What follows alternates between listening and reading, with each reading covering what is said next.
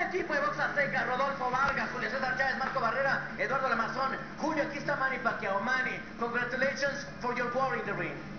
Thank you very much, and uh, you know I did my best, and uh, I'm trying to make people happy, and um, you know I, I want to fight to go with him, and um, I'm surprised because he's back up. I, I thought he's coming inside and fight to go with me, and so we can give a good fight to the people. But I did my best, and you know I'm trying to, to give a good fight.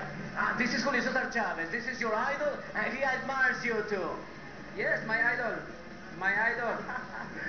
¿Qué le dices, Julio? No, que se vio muy bien esta noche, que él, que él fue el que propuso toda la pelea, sin él no hubiera habido pelea.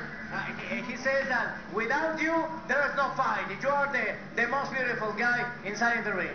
Thank you very much, but nothing personal. I'm just giving uh, enjoyment and happiness to the people, and nothing personal. I'm Just doing my job. And you remember this guy, Marco Barrera? My friend. my Con- friend. congratulations, the fight was uh, only one side, but you're the warrior, you go, go all the time from.